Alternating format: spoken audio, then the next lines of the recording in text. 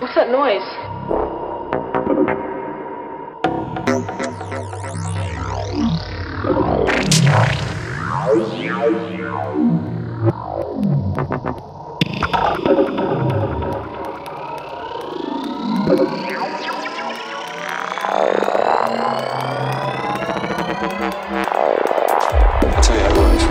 Took a note of Sawtooth Wave right off this Pantomime 4, put it back here, regened it through itself, looped it back, mixed it with the sound of this crab committing suicide, and let it stew in its own reverb for about three hours, right? And then I pump it all out through this shoe